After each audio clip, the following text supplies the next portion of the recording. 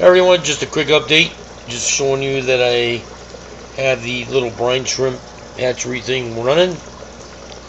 So I started at about 11:15. It'll go to about anywhere from five o'clock to seven o'clock, depending. It's usually between 18 to 20 hours for brine shrimp to hatch. So we'll see what we're going to be doing here. All right. So right now, all it is is salt water, brine shrimp eggs, and of course your air pump with a valve. And I just made a little makeshift shelf at the moment to hold it in there. But uh, that's what we got going on right now. Little brine shrimp eggs rolling around in there. All right. So let me shake this thing up. Knock them off the sides.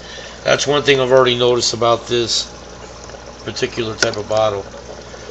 The eggshells are getting stuck under this little lid, or not lid, uh, ledge right here. See that little ledge sticking out? So, if anything, if you're going to make one of these things, make sure there's no lip right there. I think some water bottles don't actually have them. But, uh, that's what we got going on. So, I'll post up a video in about 18 to 20 hours and we'll see what happens. Alright everybody, thanks for watching.